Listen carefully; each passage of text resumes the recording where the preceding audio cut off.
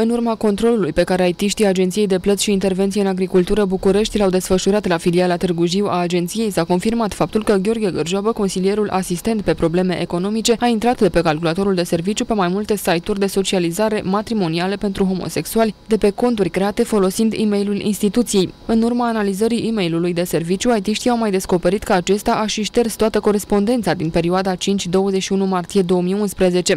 Domnul Gârjoabă a avut două calculatoare analizând unitatea acestora, s-a descoperit că dânsul a accesat anumite site-uri de socializare și site-uri matrimoniale, precum uh, Facebook, Noi Doi, combinații și altele pe care le aveți trecute în anexele pe care vi le vom da.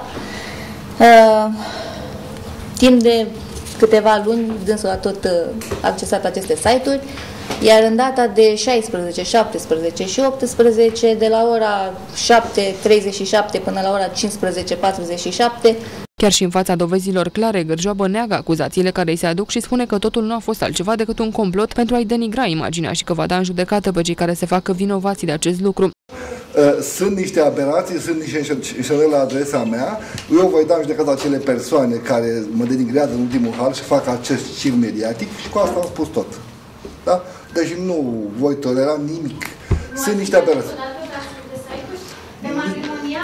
Nu intru eu pe site-uri. Mai mult decât atât, laptopul meu a fost luat anul trecut din august de doamna directoare, fiind neparolat, ne nimic, poate să intre oricine și oricum pe el, da?